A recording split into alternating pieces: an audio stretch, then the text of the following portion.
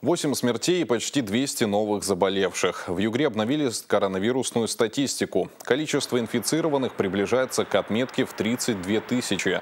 За сутки выявлено 199 положительных тестов на ковид. Больше всего в Сургуте – 35. Следом идут Нижневартовск и Ханты-Мансийск. В Сургутском районе добавилось 7 пациентов инфекционных отделений. У половины ковид-положительных диагностирована пневмония. Почти 90 человек переносят коронавирус в виде ОРВИ. Вылечились 265 жителей и гостей региона. Не смогли справиться с болезнью 8 пациентов.